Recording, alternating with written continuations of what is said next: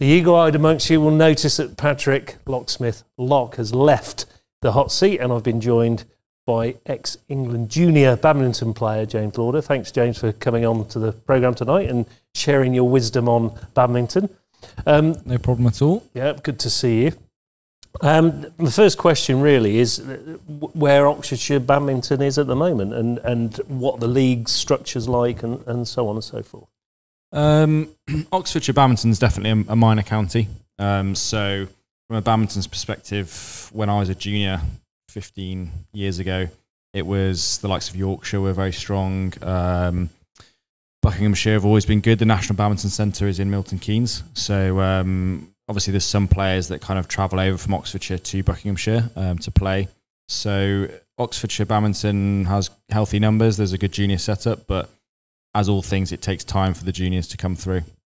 So I play for a club called Windrush Badminton Club, which is based in Witney. Um, great club, Wednesday night club nights. They have a good Saturday junior section uh, that is very welcome. You know, if there's people that are parents that are out there that want their children to start up and playing, Windrush is a great club based in Witney. But there are lots of lots of clubs that need more players.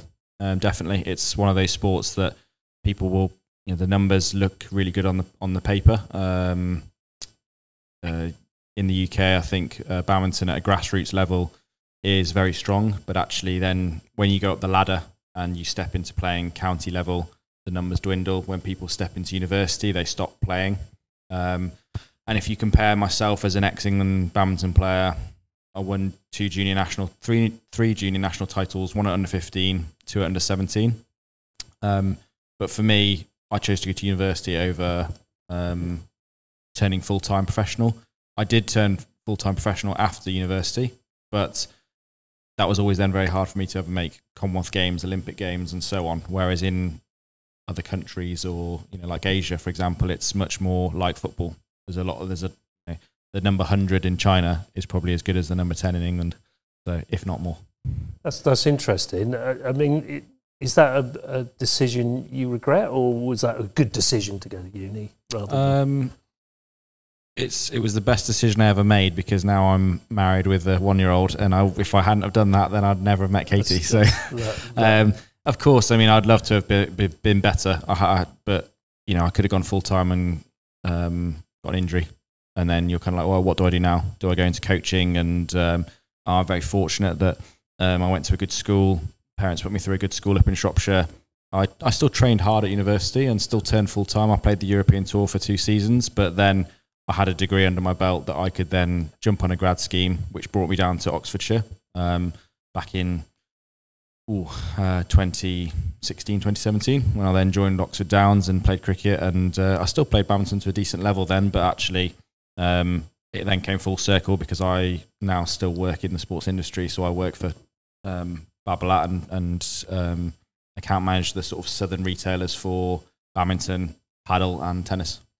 No, that's interesting. Again, I, I mean, you said that Windrush. It, it, are there other clubs around Oxfordshire that um, you know people you know watching this program will you know if they're living slightly south of the region they could go to? Uh, yeah, absolutely. So um, another good club is Abingdon Badminton Club.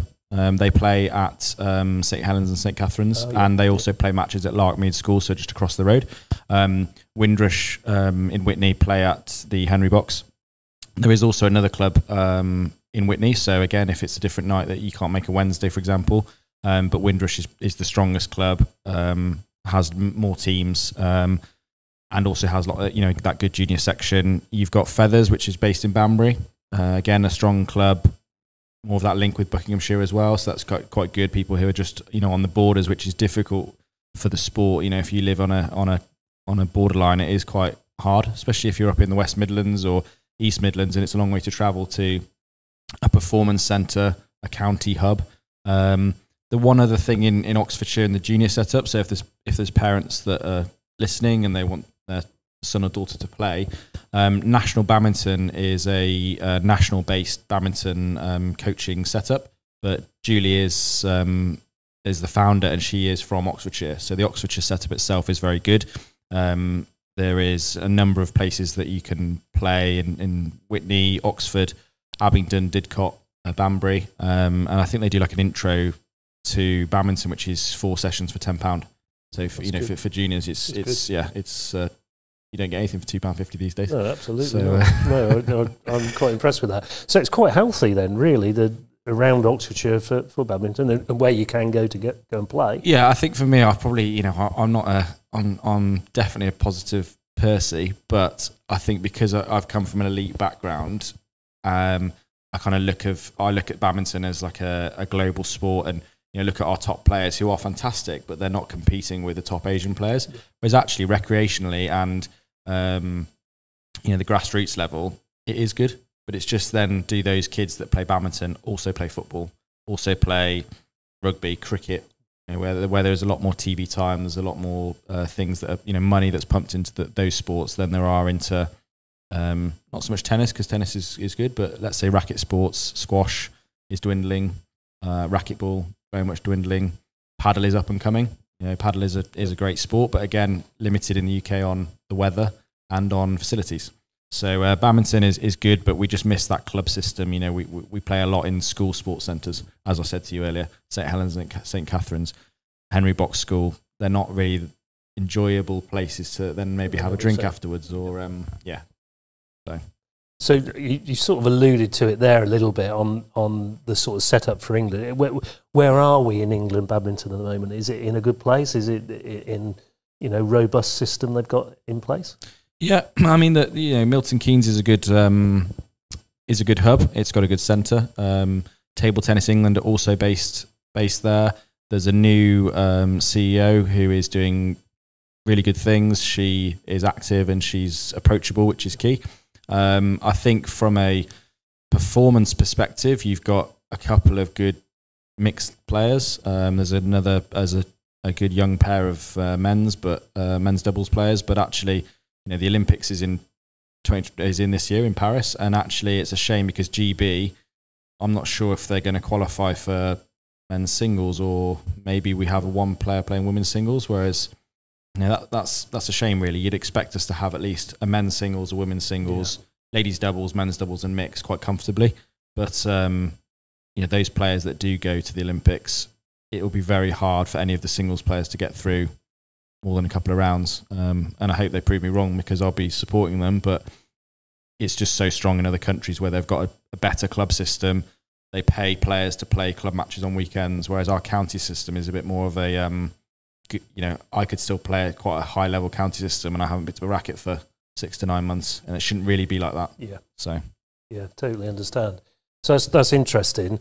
Um, from from that, I, I suppose, have, have, you ever thought going into coaching uh, on the badminton front, or do you do some coaching? I don't anymore. Um, obviously, I've got I've got a little girl, so she takes up a lot of time, which is I absolutely love it. Um, my wife is a is a private school teacher, so as you know, um, so Saturday I spend my day with my little one and Katie works, and you know that at that young age, it's bedtime and bath time at, at that kind of time. Yeah. but I did do coaching. I coached when I was at university. Um, I coached after. I actually coached for national badminton as well for a, a year or two. But um, when you're doing a full time job, it's then hard to go out and do two hours or three hours in the evening. And I enjoyed it, especially with the young, the younger ones. You know, even the ones that didn't never really wanted to become a professional badminton player. I probably actually enjoyed that more in my latter years of coaching. They just wanted to pick up a racket and play and have some fun. Um, I guess for me, the you know, coaching probably put a bit of a dampener on my playing because I was choosing at university to, to coach some junior England girls um, that were on the program when I should have been training myself. But like you said, it's it's always hard with those kind of sports when you're a player because you're sacrificing your own um, strength and conditioning or uh, flexibility session or whatever it might be because you're earning money. But it, you need that money to then go play. So um, yeah, I enjoyed my coaching. I did. I've done a lot, but um, now with full time job, it's just um, yeah, no, yeah. Totally. I'd love to do a bit more, um, but same here. You know, Oxford Downs, I'd love to, to try and do a little bit of the cricket coaching because I enjoy it, but it's just time. Yep. absolutely. Something you might consider for the future. Yeah, maybe when, when the family's uh, growing up. yeah, and stuff. maybe. Yeah, absolutely. Uh, I, I, always love it. We we had uh, young Ben Cox on last week from Motorsport, and he brought in his his helmet and some of the trophies he'd won, which was really interesting you brought some stuff in, and I'm, I am quite um, perplexed by by this. Can you just take us through this a little bit because this is quite interesting. Of course, I can. Um, yeah, I didn't want to bring in any medals because my mum's probably got them somewhere at home, um, and they can stay there. Um, oh yeah, obviously, like I said, I, I um, thought that this might be a bit more niche rather than, like you said, bringing in awards or whatever. So I obviously work for Babolat, a French brand. you can see here. I don't know if uh, you can see on the camera, but um, the tread here, which is on an in, this is an indoor court shoe, so this could be used for squash or racquetball, but it's predominantly badminton. Um, being a French company, Michelin is is a as a partner, so um, this is just a, you know it's a good sales sample for me to go out and show customers, but actually it's quite interesting as a yeah, sports absolutely. fanatic. So you can see how the tread fits onto um, a midsole, which is um, a soft EVA, but actually for indoor sports you want it to be quite um, soft on the heel, where you kind of put your foot down, and then as you kind of go heel to toe, yep. it's a lot harder up here, so you can push off. So in badminton, obviously, it's all about um, dexterity in in the uh, moving off the court quickly, but also plyometrics. So plyometrics is so key because it is it is probably it is the fastest racket sport in the world. So the the smash on it, it's nothing to do with footwear, but the smash is 565 kilometers per hour, which is about 350 miles per hour. That's amazing, isn't it? so, And when you think about that compared to like a tennis serve, you know, Andy Roddick back in the day, yeah. um, plenty of current players now, but I always remember Andy Roddick. He was my favourite player. You know, 150 odd mile an hour tennis serve that hit the line judge at the back, and you think, oh my goodness, it's the fastest thing ever. Whereas when you see a shuttle being hit on the floor, it stops quite quickly. Um, yeah, that's 200 miles an hour quicker than that tennis ball. So, um, yeah, again, compared to cricket, when you see someone bowling really fast, Shoaib Akhtar 100 mile an hour, you're thinking, oh, I, I couldn't face that anywhere near. But then shuttle, it's kind of seems you, have got this flying at you. There's 16 goose feathers. Is, um, I was going to say, is it is goose feathers? Goose feather. That's the best um, one, isn't it? Yeah, goose feather's the best one. This is a, a, hybrid shuttle, so you can see here that the the um, nest here is plastic, whereas most of them would be all in one piece. Uh, but this is you. just a more durable yeah. shuttle that we we provide. But goose feather from the left wing flies, and from the other wing it actually would fly funky. right. okay. So a little novelty, but yeah, that's how the shoe works anyway. So you've got your tread, your midsole, you have different levels of EVA foam, and then you've got your upper, which is super light. Feel weighs nothing. Um, absolutely nothing. Yeah, and that's what it's got to be. That's a pure performance shoe. So you want it to weigh as little as possible, but to be, still be stable. And you've got a little bit of um, protection here because in badminton you slide your foot a lot. So then obviously that can wear down quite easily on the court, um, especially if you're playing on a dusty sport. Very, very, very interesting. That James, thank you for that. No problem. Um, so we discussed the shuttle. Yep rackets? Just take us yeah, through quickly, a little bit so of racket. Just a couple of rackets here. I mean, to the to the naked eye, you're not going to see much difference. Um, yeah, this is 160 pound, and this is 60 pound.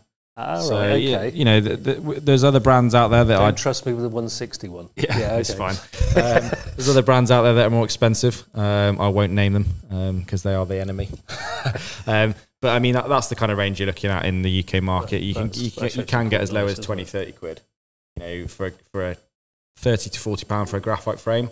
Below that, you're looking at like an aluminium. You know, you see them in the garden, they've got two pieces, um, and they're absolutely rubbish. So what, what is this made of? Graphite, Gra- carbon gra- graphite. yeah, they both okay. are, yeah. but obviously you've got more technology in this. You've, you know, actually, if you were to look closer, this is a lot thinner here. Yeah. So then the stiffness in the in the shaft here is is higher quality of uh, graphite. So actually, something like this and uh, X-Feel Fury, X-Feel Rise, they're pretty similar in weight, but this is very stiff. So hard to play with if you're a, yeah. if you're a novice player. Um, you want a stiffer racket, a more head heavy racket if you want to create power. Um, and then the opposite, you want a flexible racket, something that's quite lightweight if you want quickness and maneuverability. I, I can actually feel that that's quite flexible and that is quite. Yeah, that is a really yeah. it is a really stiff racket. That yeah. would be a pure performance player's frame. So um, very very interesting. Um, I, I, love all that. I, am learning so much about other sports, which is really great. I, I, say this every week, but it is it's true. Um, just last thing for, for me, James, is um, normal game. You know, what what's a set? What what how how does the game just transpire, if you like? Um, what in terms of scoring? And yeah, scoring. And, yeah, so um, it, it's the same for doubles and singles, which is quite simple. Uh, the, the obvious way is best of three to twenty-one. So best of three um, games. Um, obviously, there's different ways of calling it a set, a match, a game, but yeah, you'll play your first um, your first set will be to 21 points. Um, if I beat you 21-10, um, and then in the second game you beat me 21-10, we have that third and final deciding game. Win by two clear points, get to 29 all. It's uh, next point wins 30-29. Um, that's pretty much the basics of the, the scoring yeah. side of it.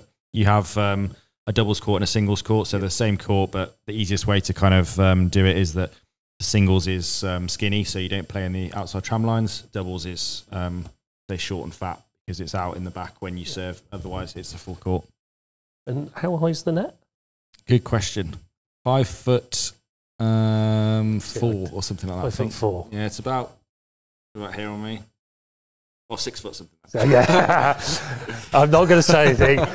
I have been known to take the mickey out of a certain person sat next to me, so I won't live on uh, YouTube. Luckily, I've got a tall upper body yeah, when I sit down, but it, my legs yeah. are now dangling away. So I say nothing. James, look, that's been uh, really good, uh, really insightful into badminton, and obviously anybody who wants to get involved, get along to Windrush, and uh, you know they'd be pleased to see you. It'd be a great place to, to go. So thanks for coming in, James. No problem. Um, good Thank luck for, for the me. cricket season, obviously, because yep. we're looking forward to the most important. Yeah, absolutely.